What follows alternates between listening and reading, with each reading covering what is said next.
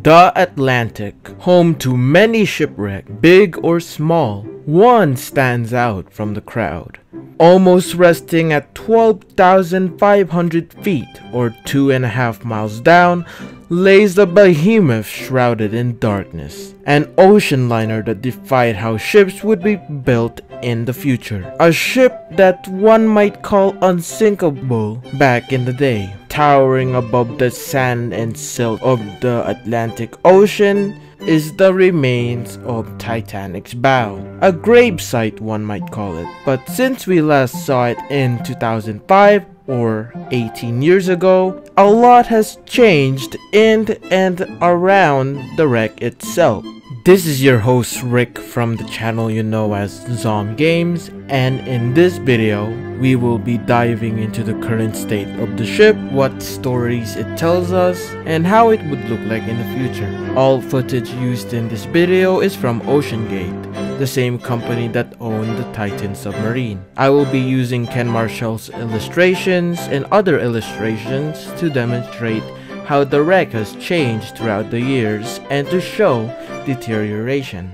Some of the footage that might be used might be also from James Cameron, so make sure to check out their expedition on the History Channel if you can. Now, without further ado, let's get right into the video. The wreck site of the Titanic is a rather hostile place where sea currents wreak havoc on sea life and on the ship itself. As seen in these photo and illustrations of the wreck, you can clearly see what damage the currents of the sea had done to the wreck. The forward mast had collapsed in itself and no longer towers above the well deck. Rewinding back a bit, and onto the hull of the ship, the hull itself has started to fold outwards. This is especially recognizable on the breakup zone of Titanic's bow. As you can see, the outward shell of Titanic or the hull has begun to fold outwards. Another prominent feature of the bow is the gash on the side of Titanic. This gash has deteriorated and has worsened throughout the years. It has noticeably corroded even further, making it even bigger than it was back in 2005. The enclosed promenade has also begun to cave in, and the sheets of metal that used to make up the enclosed promenade has fallen off near the breakup zone. This has now exposed the support beams that were holding up the deck above B deck. The A deck, or what we ship historians call them, the boat deck, doesn't look much better than the B deck.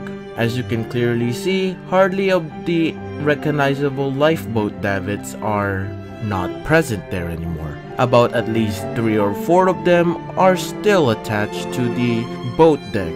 Now I will be going into speculations and theories onto what would have happened to those later in the video. Now we move further front of the ship at the hawse hole, you can see the anchors are still virtually the same as they were in 2005. As for the foxhole, the rusticles have further expanded outwards. Now, what is a foxhole or a sawhole? Well, it's basically a mooring line. This little hole at the very front of Titanic was mostly used for tying the ship to port and sometimes even used to lower Titanic's anchor.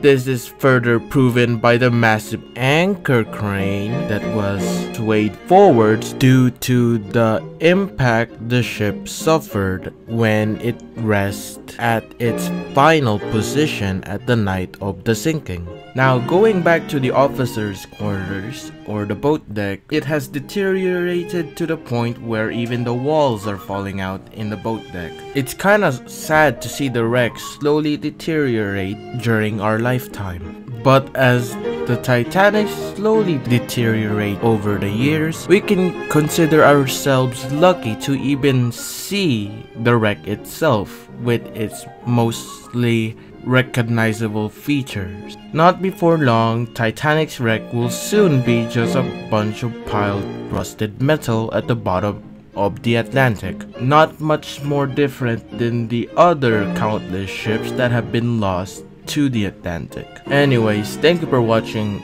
part 1 of the Titanic wreck analysis. I'll be doing the stern soon. I'll also be releasing a new what if video in a long time and I know you guys love the what if videos so stay tuned for that and I'll see you on the next one.